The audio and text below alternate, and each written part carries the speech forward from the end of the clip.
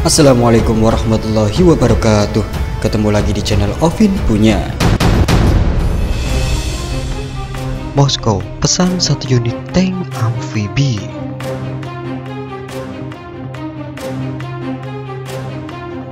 Rusia telah memesan tank buat buatan PT Lundin yang berbasis di kota Banyuwangi, Jawa Timur. Hal itu disampaikan oleh Duta Besar Indonesia untuk Rusia, Wahid Supriyadi. Ditemui di kantor Kementerian Luar Negeri Indonesia di kawasan Jakarta Pusat, Kamis 16 Januari 2020, Wahid mengatakan Moskow memesan satu unit tank amfibi yang bisa berjalan di darat yang juga perairan dangkal seperti rawa. Itu tank yang bisa di darat dan juga air dangkal seperti di sungai atau rawa-rawa, terang Wahid. Saya waktu melihat di sana ada satu unit yang masih dikerjakan, tapi yang sudah diekspor tiga. Itu yang pakai bahan komposit yang kekuatannya empat kali dari baja dan memiliki kecepatan 150 km per jam. Sambungnya.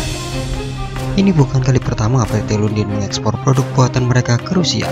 Tahun 2018 lalu, mereka juga mengekspor tujuh kapal buatannya ke Rusia, yaitu kapal Rip Right Inflatable Boat jenis Carbotank. Saat itu, Direktur PT Lundin, John Lundin mengatakan, kapal itu mempunyai lambung sepanjang 12 meter. Ukuran lambung sepanjang itu, kapal berteknologi tinggi ini diklaim sebagai kapal tercepat di Indonesia, bahkan Asia. Dua model kapal Carbotank lainnya produksi PT Lundin juga telah digunakan untuk operasi militer di Swedia dan Rusia. Kami banyak menerima pesanan kapal untuk militer, seperti dari Bangladesh, Hong Kong, Malaysia, Brunei, Singapura, jelas Lundin kala itu. Sekian, wabillahi taufiq. Wassalamualaikum warahmatullahi wabarakatuh.